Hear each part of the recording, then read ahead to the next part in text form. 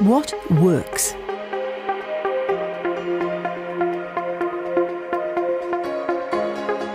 it all adds up. It's all, you know, if you said to the to the bean counters, what would happen is if this happened, they'll give you a report.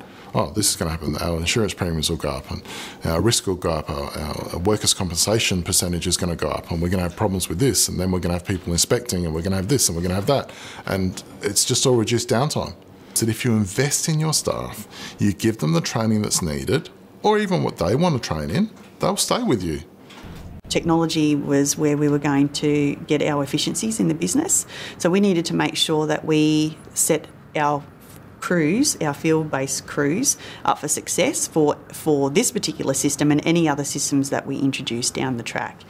Technology is, is coming in thick and fast in, in every business and in our business in particular.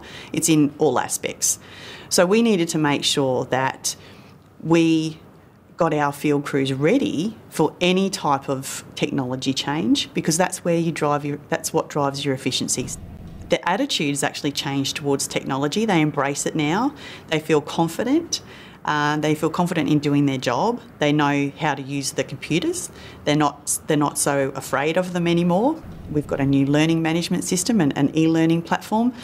The guys now do e-learning every quarter and they're, they're just getting so much better at the computers. We've got guys that come up to me and say, Kim, we've, we've got Facebook now or I just text my granddaughter and they're just using technology and they're not frightened of it anymore. So it's built their confidence.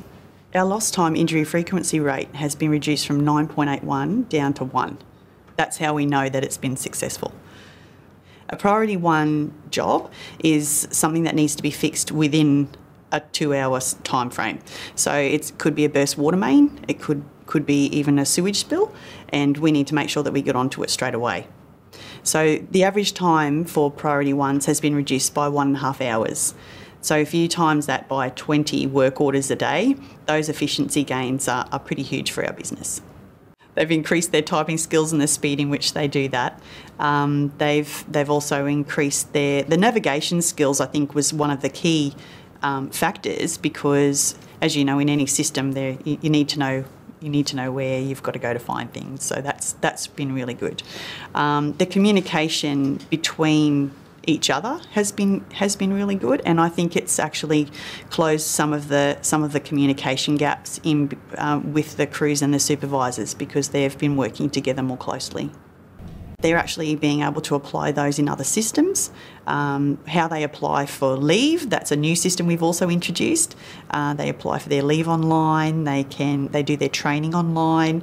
So we've actually introduced so many different systems and they've been able to use these same skills and apply them across the board. Yeah, I think the the um, the compl- or the regulatory compliance um, is definitely an area or a return on investment also we are actually in a customer service business and we need to make sure that they are getting the best possible service we can provide. So, um, yeah, it's really important that our, when our crews interact with our customers, they're interacting in a positive way.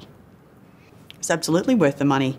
When you think about the efficiency gains, the changes in, in behaviour, in just in attitude towards computers, um, attitudes towards um, the, the change of the work and the fact that they've, they've come along for the, for the journey, that's, that's absolutely worth it.